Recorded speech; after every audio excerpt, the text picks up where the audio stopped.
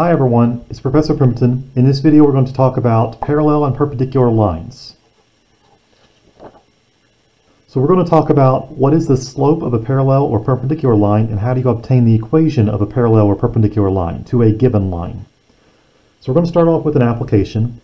According to data in recent years, the future of the United States indicates that the number of men and women living alone will increase each year, and there are several factors for that. The following graph provides the number of adult men and women given in millions that are living alone in the United States between 1990 and 2008. So if you look at the graph, the graph that is magenta or red is representing United States women living alone, aged 18 or older, and these are in millions from 1990 to 2008, and the one that's in a dark green or blue is the number of men living alone. So the question is, according to the graph, which appears to have the greater slope? So based on our discussion in the previous videos, which one appears to be the, the greater slope? Well, it depends on the steepness of the graph. Well, if you look at the number of men living alone, it appears to be a slight steeper line than compared to the line representing women living alone. So that means the slope representing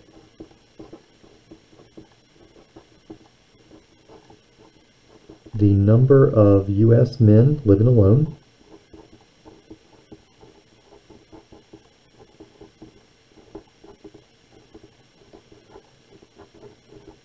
is greater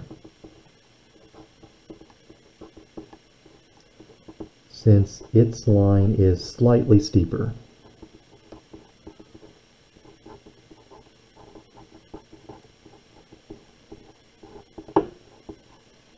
So the reason why it appears to be slightly steeper is that we can calculate what's called the average rate of change, or slope.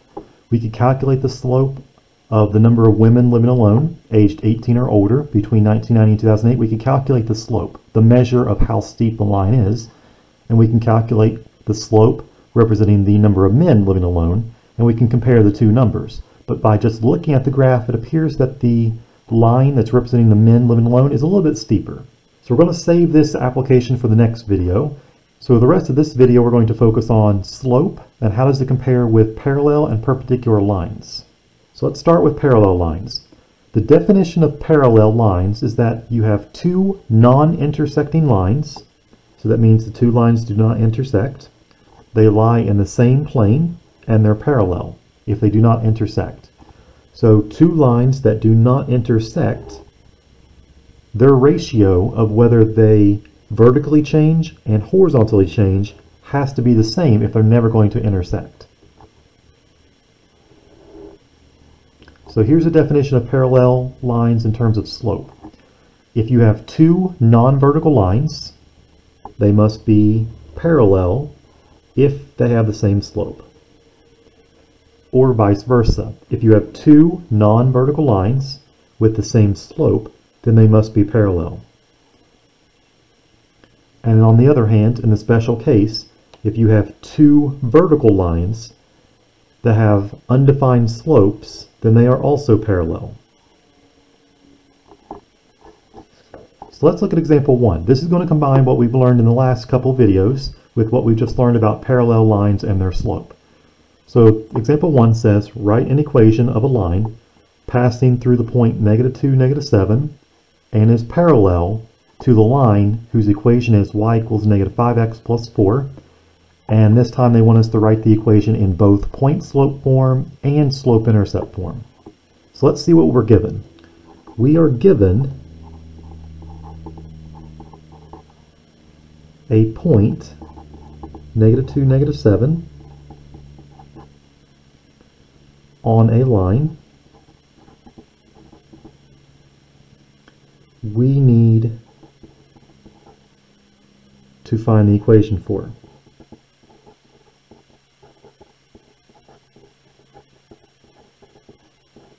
So how do you compare that line that we're trying to find with the line that we are given? Well, y equals negative 5x plus 4. This is in slope-intercept form. It's already been solved for y, and notice that the number in front of the x is the slope. So the slope must be negative 5 for this line. Well, we just found out that if the lines are parallel, they have the same slope.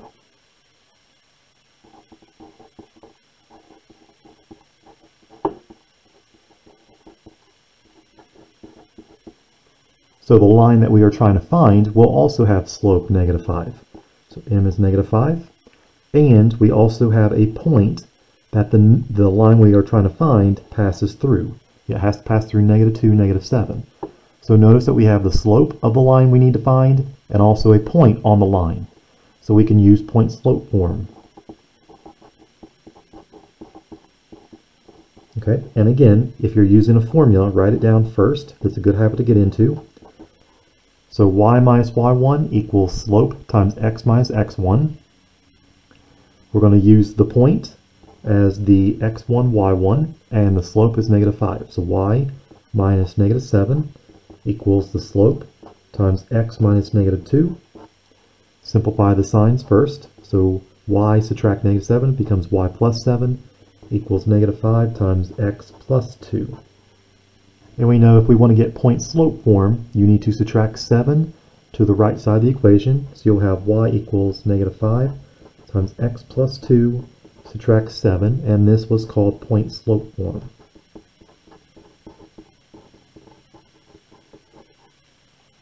Okay, so we're halfway through the answer because we need to find point slope form and also slope intercept form. So now remember from the previous video, if you simplify point slope form, you will find automatically slope intercept form. So we just need to keep going. y equals negative 5 times x plus 2, subtract 7. If we want to simplify, distribute the negative 5 through the set of parentheses to both terms. So y equals negative 5x, subtract 10, subtract 7, which becomes y equals negative 5x, subtract 17 and this is slope intercept form. Or y equals mx plus b. So let's see what we've actually found. We were given an equation of one line, and the slope was negative 5. We had a point that the line we needed to find had to pass through. It must pass through negative 2, negative 7. And we know the two lines are parallel, so we found the slope of the new line, where the slope of the line we were are wanting to find is negative 5. And then we use point slope form using the point and the slope. And we simplify point slope form to get slope intercept form. So this line has slope negative 5, and the other line had slope negative 5. This crosses the y-axis at negative 17. The other line will cross the y-axis at 4. So they will be non-intersecting lines because they have the same slope. Okay, let's try example 2. This is going to work very similarly as example 1. This time it says write an equation of a line that passes through 3 comma negative 4 and again is parallel to a line whose equation is 3x subtract y minus 5 equals 0. So notice that's in general form this time. And then express the equation of the line in both point slope form and slope intercept form. So this time we are given a point, 3, negative 4, on a line. And we need to find the equation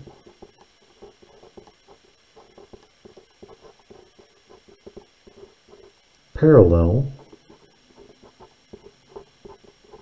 to 3x subtract y subtract 5 equals 0. So that's what we're trying to do in this second example.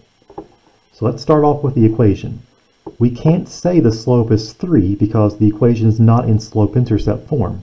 We have to take this equation and solve for y first. So take 3x subtract y subtract 5 equals 0. Solve for y to find slope-intercept form.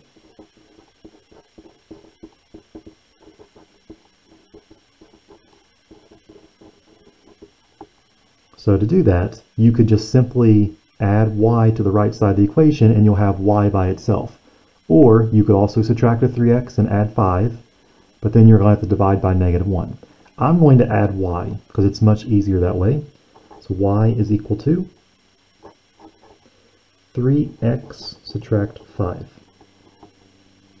And so notice that the slope is now 3 because this is in slope-intercept form.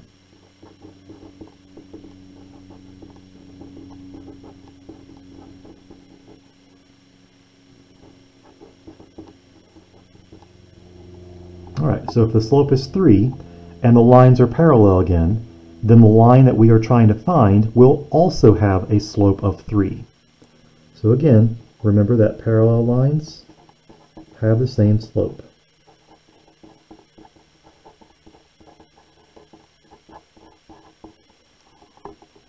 So we have a point, which is 3 comma negative 4. That's on the line we are trying to find.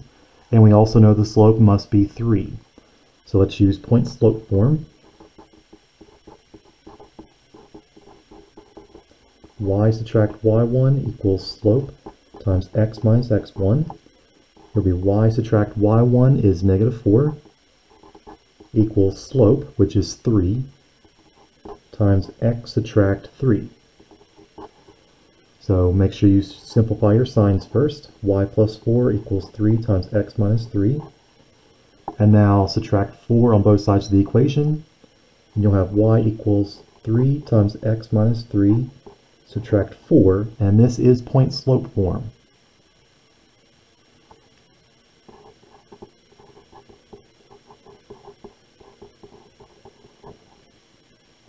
So there's half the answer. We have found the equation of the line that is in point slope form, but now we also need to find slope intercept form again. So again, if you take the equation and continue simplifying by distributing the 3 through the set of parentheses to both terms x and negative 3, you'll have y equals 3x subtract 9 subtract 4, which becomes y equals 3x subtract 13. And this is slope-intercept form of the equation of the line we were trying to find. That passes through 3 negative 4 and is also parallel to 3x minus y minus 5 equals 0.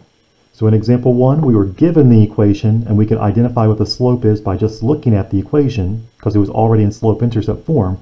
This example, the equation was not in slope-intercept form, so we had to do that extra step. We had to make sure it was in slope-intercept form first so we could find the slope and then find out that the line we wanted to find also has a slope of 3. All right, this time we're going to focus now on slope and how does it relate with perpendicular lines. Well, remember that two lines that do intersect at a right angle or 90 degree angle are called perpendicular lines. So there's a relationship between the slopes of perpendicular lines as well, but it's just not as obvious as it is with parallel lines. So in this graph, notice that these two lines are perpendicular to each other because they form a right angle. That's what this little box represents.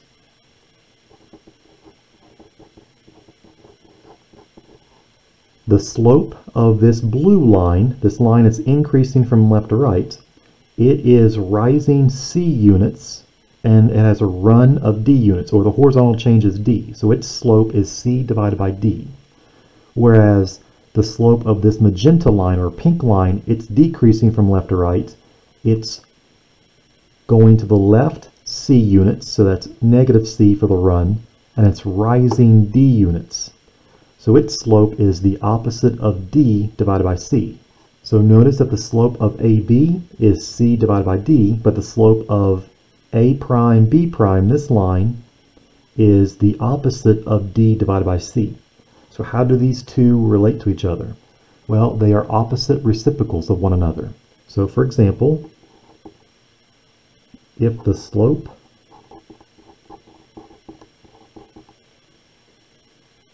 of line AB is 3,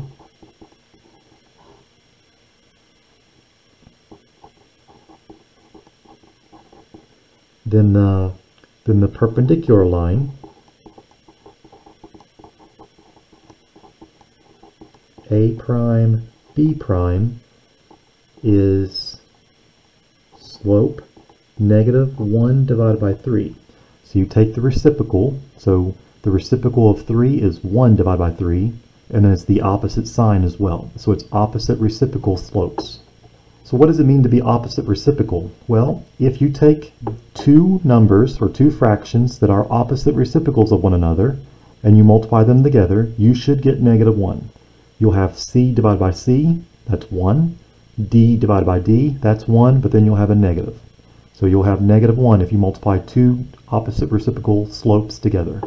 So the relationship, again, between perpendicular lines is that the slopes are opposite reciprocals of one another.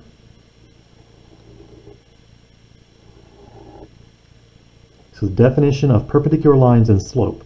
Two non-vertical lines are perpendicular if you multiply the slopes and you get negative 1. So we just saw that.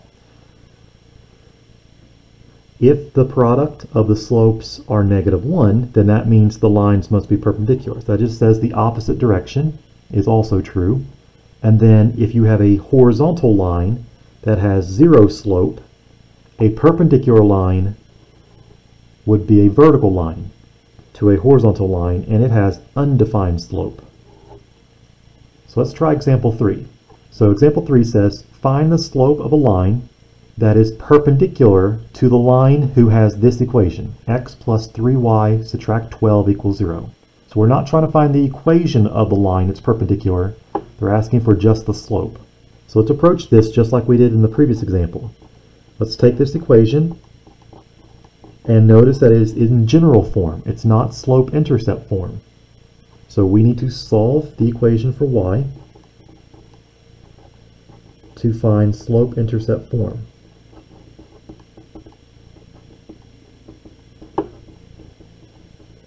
Okay, in other words, we can't say the slope is 1, the number in front of the x, unless you have y isolated first. So let's do that. Let's take the equation and let's isolate the y. So let's subtract x to the right side of the equation and also add 12 to the right side. So 3y is equal to the opposite of x when you subtract it, and then add 12. And now divide both sides of the equation by 3, and you'll find it's y equals um, negative 1 divided by 3x plus 12 divided by 3, which will simplify to y equals negative 1 third x plus 4. Now that's the equation that we were given. It's just in slope-intercept form now. So what's the slope of this line? Well, it's the coefficient in front of the x. So the slope is negative one-third. And we just found out that perpendicular lines have opposite reciprocal slopes.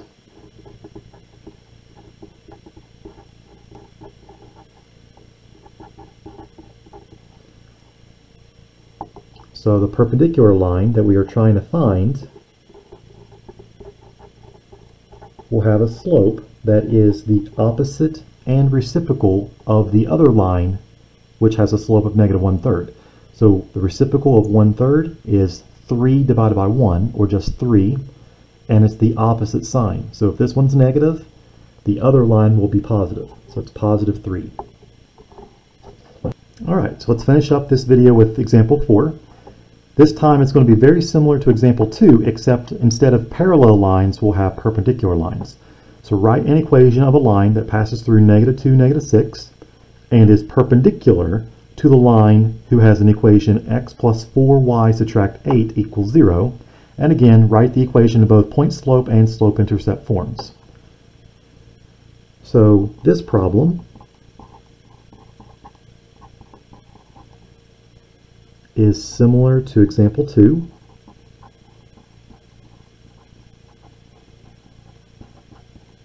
except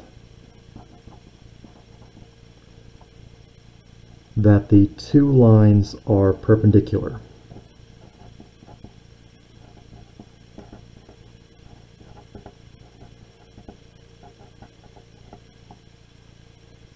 And we need to find an equation.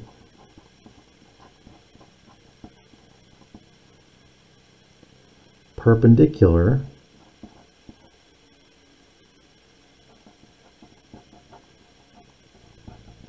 To x plus 4y subtract 8 equals 0 and passes through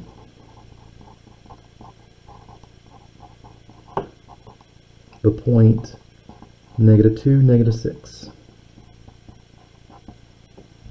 Okay, so let's approach this just like we did example 2.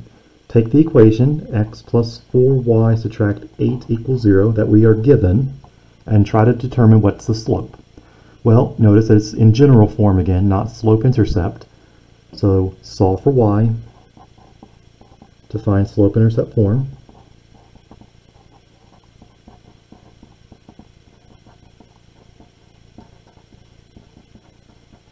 Or y equals mx plus b.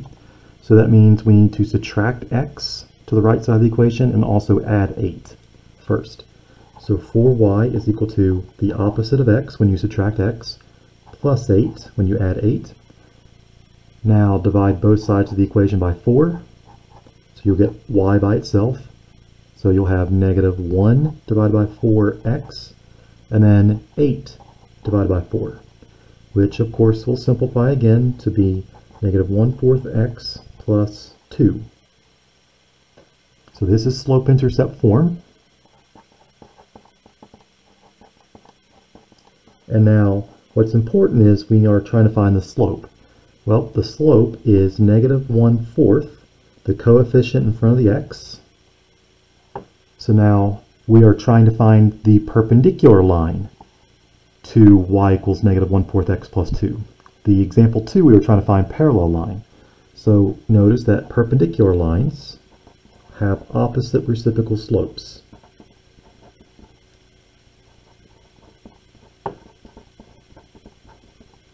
So that means take the reciprocal and also change the sign.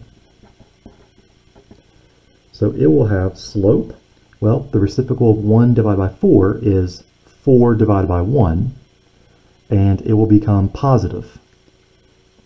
So positive 4 and the line must pass through negative 2, negative 6.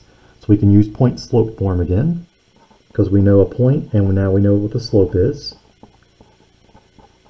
So y subtract y1 equals slope times x minus x1. y subtract negative 6 is equal to the slope of the perpendicular line is 4 times x subtract x1, which is negative 2. And so again, let's simplify. Change the signs. y plus 6 is equal to 4 times x plus 2. And subtract 6 to both sides of the equation to make sure you have y isolated. So y is equal to 4 times x plus 2. And then subtract 6. So that is point slope form. So just like examples 1 and 2, we need to simplify completely to find slope intercept form. So take the equation y equals 4 times x plus 2 minus 6. Distribute the 4 through the parentheses. y equals 4x plus 8, subtract 6. And then combine any like terms. So you have y equals 4x plus 2. And this is now in slope-intercept form for the equation of the line. So this line is slope 4 and the other line had a slope of negative 1 fourth. So we know they are perpendicular, and the line y equals 4x plus 2, it does pass through the point negative 2, negative 6. So this gives you an idea of how to use parallel and perpendicular to compare the slopes and also find the equations of parallel and perpendicular lines. If you have any questions about any of the examples in this video, please let me know.